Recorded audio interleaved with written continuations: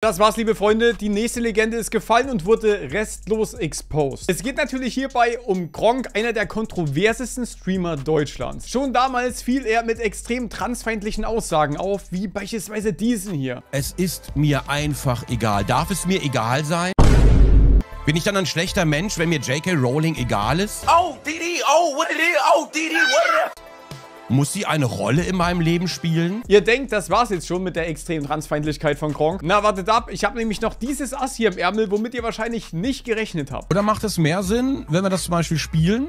Und wenn wir das spielen, sammeln wir eigentlich die ganzen Donations zum Beispiel für bestimmte Organisationen meiner Meinung nach viel zielführender. Also ihr seht, Kronk ist fast schon permanent am Hetzen und deshalb hatte sich Shoyoka zur Aufgabe gemacht, ihn ordentlich aufzuklären, dass ja Harry Potter super transfeindlich ist, vor allem in Bezug zu J.K. Rowling. Man sollte hierbei auch keine eigene Meinung vertreten, denn es ist ja offensichtlich, dass hierbei ein gesellschaftlicher Genozid begonnen hat. Demnach ist Kronk nicht nur ein Stück weit transfeindlich, sondern er pusht sogar wahrscheinlich gesellschaftliche Genozide oder sowas. Am transfeindlichsten fand ich aber immer noch von Kronk, dass er an den Bundesverband Trans für gesellschaftliche Selbstbestimmung und Vielfalt gespendet hatte. Das Ganze ist sogar geschehen vor den Vorwürfen von Shoyoka, dass Gronk vielleicht eine gewisse Transfeindlichkeit unterstützt. Also ich denke, dass das schon im Vorfeld reine Provokation von Gronk war, um Shoyoka extra nochmal eins auszuwischen. Ja, er befeuert das Ganze ja sogar. So, und jetzt kommen wir auch gleich zur aktuellen Sache. Und zwar, dass Gronk plötzlich misogyn ist. Und ihr fragt euch jetzt mit Sicherheit, holy shit, was hat Gronk bitte mit Frauenfeindlichkeit zu tun? Nun ja, das Ganze wird gleich wild. Was aber noch wilder ist, das sind die neuen Eisteesorten von Holy. Und zwar einmal der Wassermelonengeschmack. Das sieht sogar in der Aufnahme hier richtig sexy aus. Und wenn wir natürlich schon bei Melonen sind, dann gibt es natürlich auch noch einen Honigmelonengeschmack. Ui, Memo, guck mal, das sieht stark aus. Oh, Voila, da oben ist eine Suppe.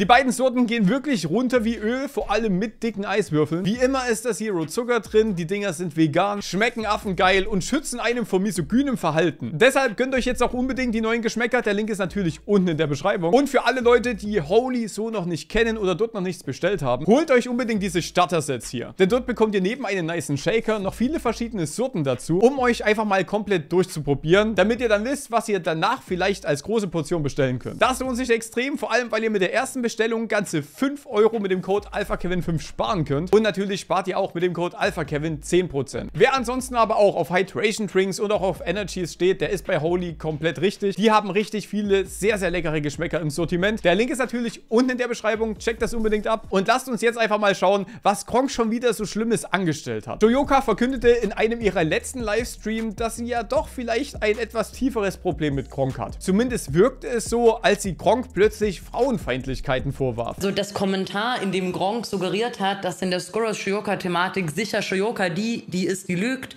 das ist halt Peak-Misogynie. Das ist Peak-Misogynie, einfach mal grundsätzlich davon auszugehen, dass die Frau sicher die sein wird, die lügt in einer Situation, von der man keine Ahnung hat und bei der man nicht anwesend war. Im Zweifelfall die Glaubwürdigkeit der Frau angreifen. Das ist das Gleiche, was bei Rammstein passiert ist. Das ist das Gleiche, was Karina Pusch passiert ist. Das ist das Gleiche, was bei Luke Mogridge passiert ist. Es wird immer erstmal darüber geredet, dass definitiv die Frau die ist, die gelogen hat. Ja, genau. Bei Luke Mockridge hat man definitiv den Mann komplett in Schutz genommen. Also ich will jetzt nicht sagen, aber nach den Vorwürfen war Luke Mockridge erstmal komplett weg vom Fenster. Und das, weil man hier mehr der Frau geglaubt hat. Natürlich gibt es auch viele Leute, die sich hinter Luke gestellt haben, will ich jetzt gar nicht abstreiten. Aber es ist jetzt nicht so, als hätte er keine Konsequenzen davon erhalten. Aber gut, das Ganze ist natürlich auch ein anderes Thema. Wir gehen mal wieder zurück zu der Kronk-Thematik. Blicken wir erst einmal darauf, darauf zurück, was Kronk damals über Shoyoka gesagt hat, denn dadurch können wir das Ganze ja auch wieder ein bisschen genauer einordnen. Aber ich habe jetzt diese ganze, äh, ich habe jetzt diese ganze Shurioka-Freiraumreh-Geschichte zum Beispiel, habe ich einfach mal, die habe ich einfach mal liegen lassen, ja. Ich hätte sicherlich auch was dazu beitragen können, weil es wurden ja anfangs auch einige Worte über mich verloren einige gelogene Worte, möchte ich dazu erwähnen. Und ich vermute mal bewusst gelogene Worte. Ich gehe davon aus. Das war es mir nicht wert. Sage ich euch ganz ehrlich. Ich möchte. Äh, von welcher Seite gelogen? Ja, da gab es nur eine. Welche Partei? Es war die, es war, in dem Fall war es Shurioka. Und ich bin ganz ehrlich, es gibt inzwischen Menschen, denen möchte ich einfach keine Bühne mehr bieten. Deswegen habe ich das ganze Thema einfach ausgelassen. Aber ich habe mich natürlich gerne damit beschäftigt. Und ich habe mir beide Seiten angehört. Und ich musste mir aber nur bei einer Seite ständig die Haare raufen.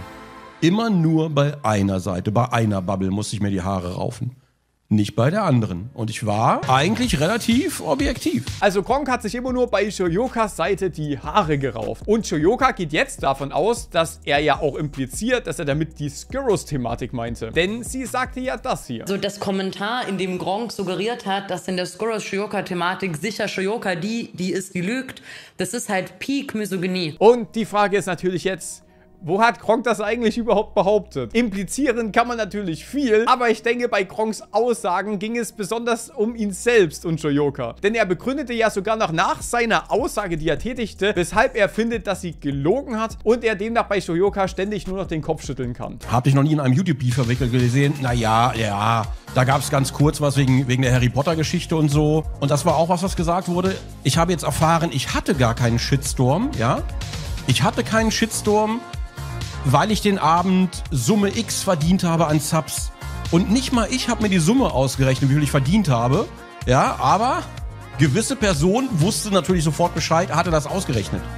Und deswegen hatte ich vorher aber keinen Shitstorm, weil wenn ich hinterher damit Geld mache oder kriege im Stream, wenn Leute subben, dann ist es ja kein Shitstorm mehr. Dann hat die Bildzeitung gar nicht geschrieben. Dann gab es keinen Shitstorm auf Twitter. Dann hat sie keine Scheiße geredet. Ne, das ist einfach, wenn Geld, dann ist alles gut. Also wenn ihr auf dem Schulhof, wenn ihr auf dem Schulhof Kinder zusammentreten wollt, ist das okay, aber gebt ihm hinterher 10 Euro. Das ist kein Problem. Der grässliche Shitstorm, den Gronk hatte. Ich fasse es zusammen. 36.000 Dollar und eine Peak von über 35.000 Zuschauern, was das Maximum High seiner Karriere auf Twitch war. Also da waren, da waren sehr wilde Takes dabei. Sehr, sehr wilde Takes.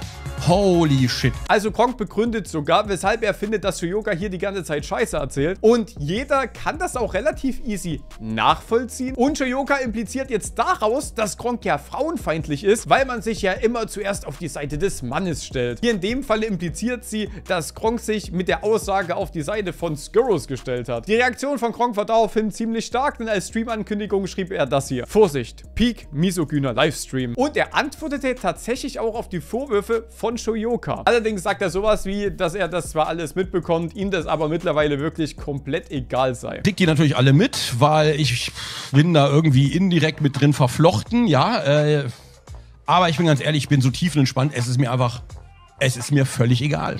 Es ist mir einfach kackegal. So, ich lese das. Mann, stresst euch doch alle nicht so. Ja, stresst euch doch alle nicht so. Das ist doch ganz ehrlich, nimm das doch nicht ernst, diesen Fuck. Das ist, doch, das ist nicht mal wert. Das ist so. Please. Ja, was passiert denn, ist, ist egal. Darf es dir egal sein? Ja, es darf mir sogar egal sein. Oh, sowas von, wie es mir das darf. Ja, ja. Ähm, ist auch, und Leute jetzt fragen, was da los ist, bitte spart euch die Lebenszeit einfach. Es lohnt sich wirklich nicht. So, selber schuld, wer auf der Müllplattform ist. Ja, ich bin ja ab und zu nochmal dran, äh, da, aber ich versuche jetzt ja mehr Zuschauern auch zu antworten, mehr sowas zu machen. Ne? Ich würde gerne mal versuchen, einfach so nicht mehr auf so eine Scheiße einzugehen. Also Kong ignoriert das mehr oder minder und mimt eher die ganze Thematik. Das ist tatsächlich auch gar keine so schlechte Herangehensweise. Ich frage mich nur, warum Shoyoka dieses Thema jetzt plötzlich wieder aufmacht. Sie hat doch schon vor einem Jahr in Bezug zu Kronk komplett reingekackt, wenn ihr mich fragt. Und wenn sie jetzt wieder damit anfängt, dann wird sie sich definitiv auch wieder keinen Gefallen tun. Aber gut, soll mir persönlich natürlich auch egal sein, was sie macht und wie sie darüber denkt. Ich persönlich verstehe aber mit diesen ganzen Aussagen in den Streams tatsächlich ihre Intention gar nicht. Ich meine, will sie wieder extremen Hate abbekommen, indem sie wieder random einen der beliebtesten Streamer angreift oder was ist ihr Ziel? Denn das hier ist wirklich wieder komplett unnötig gewesen und aus der Luft gegriffen. Mittlerweile wirkt das nämlich nur noch, als würde sie Stress mit anderen Menschen suchen, um weiter im Gespräch zu bleiben. Und das finde ich persönlich ziemlich Banane.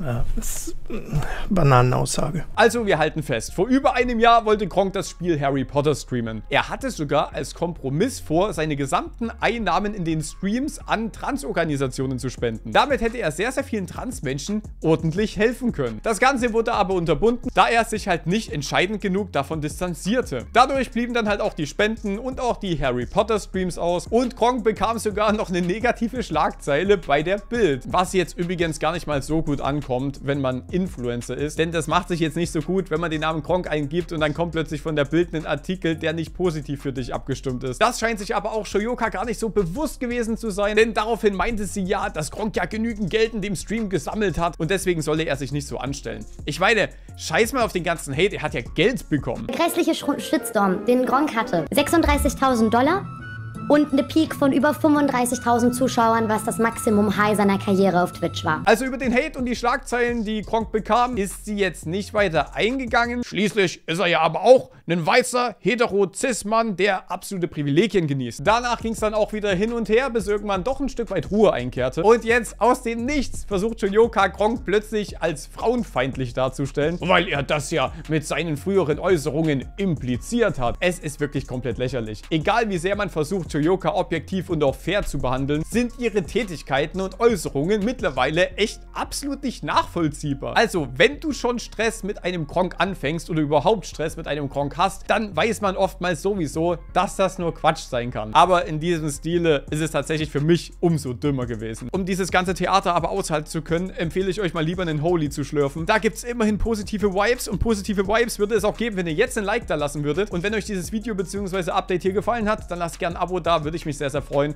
Und damit wünsche ich euch jetzt noch einen wunderschönen Tag und wie heißt es so schön? Ich denke ans Wänkchen, euer Alpha Kevin und ciao.